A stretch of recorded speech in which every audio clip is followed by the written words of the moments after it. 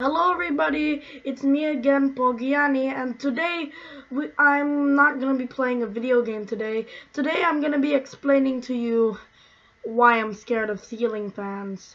And yes, you heard me right, ceiling fans.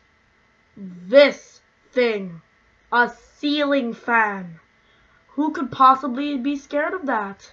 Me. You want to know why? I'm going to tell you.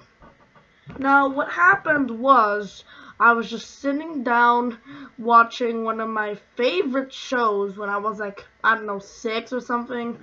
I'm pretty sure it was like last year when I was like eight or something. Yeah, I'm nine right now.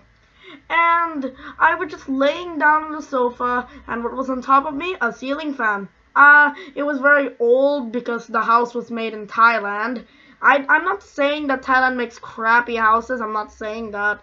It's just that um the house has, has been there for like years and the ceiling fan hasn't been repaired.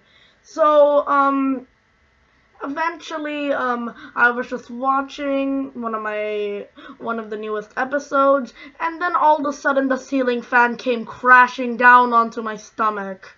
I literally screamed out loud, but luckily my parents were in the kitchen um, heard my screams and quickly ran to the living room, found me on, I mean, under a ceiling fan, and they decided to just push it, push it away, and yeah, it was really painful.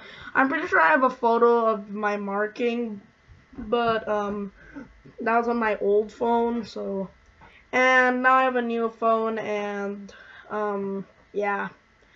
I'm pretty sure eh, I'm pretty sure nothing like that will happen again since I I have a living room now that doesn't have a ceiling fan, which is pretty much which is pretty much good. And I'm living in New Zealand, so there's no there's no air cons because New Zealand's very cold. And yes, I have moved countries, and I'm pretty sure you guys didn't ask that, but I'm pretty sure I'm gonna explain that in a, in a short.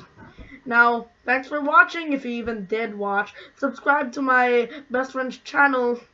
I'm cringe244. I'm gonna I'm gonna put that in the comments of this video. Bye everyone. Have an awesome day.